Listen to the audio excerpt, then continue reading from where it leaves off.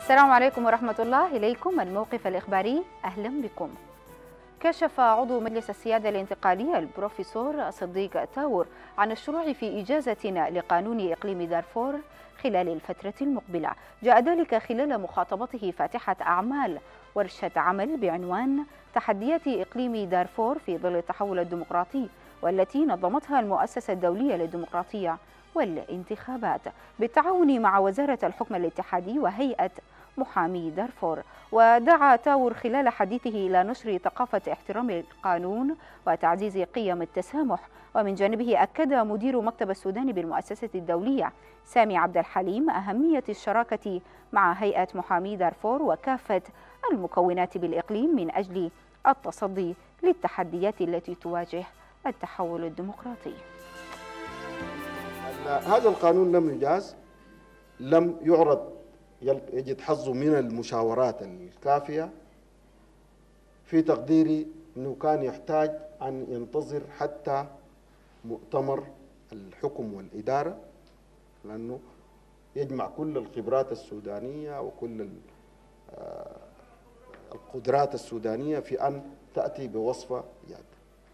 وبالتالي ليس هناك استعجال المسألة ليست مجرد نصوص نتفق عليها ونجيزها وكذا.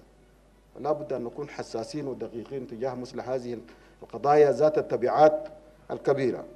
هذا التطور الدستوري يجد اهتمام كبير جدا في منظمة انترناشونال ايديا وبالتالي سعينا بأن نخلق شراكة مع المؤسسات ومراكز الفكر والقانون في دارفور.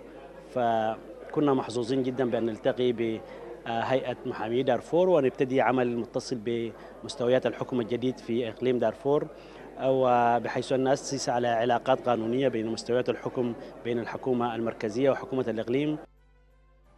التقت وزيرة الخارجية الدكتور مريم الصادق المهدي بمكتبها بالوزارة وفدا ضم ممثلي لمبادرة تجمع المغتربين والمهاجرين السودانيين برئاسة الدكتور موسى حمودة. وهذا وقد أحاط الوفد الوزير بالهدف الذي يعمل التجمع من أجله وهو دعم الفترة الانتقالية في كل المجالات لا سيما المجال الاقتصادي عبر جذب الاستثمارات الأجنبية. وأكد رئيس وفد التجمع أن المبادرة مستقلة ولا تتبع لأي جهة سياسية. ومن جانبها أعربت مريم المهدي عن استعداد الحكومة الانتقالية لتبني وإنجاح كل المبادرات.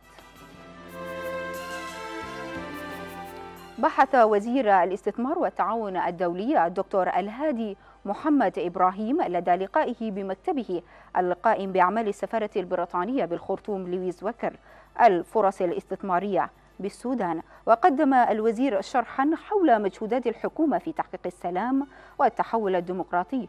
وأضاف أن الدولة قامت بعدد من الإصلاحات الاقتصادية والتشريعية والتي أقرتها الحكومة الانتقالية مشيرا إلى أن الوزارة بذلت العديد من الجهد لتحريك الشراكة مع المستثمر حتى تكون هنالك مكاسب مشتركة بين الطرفين.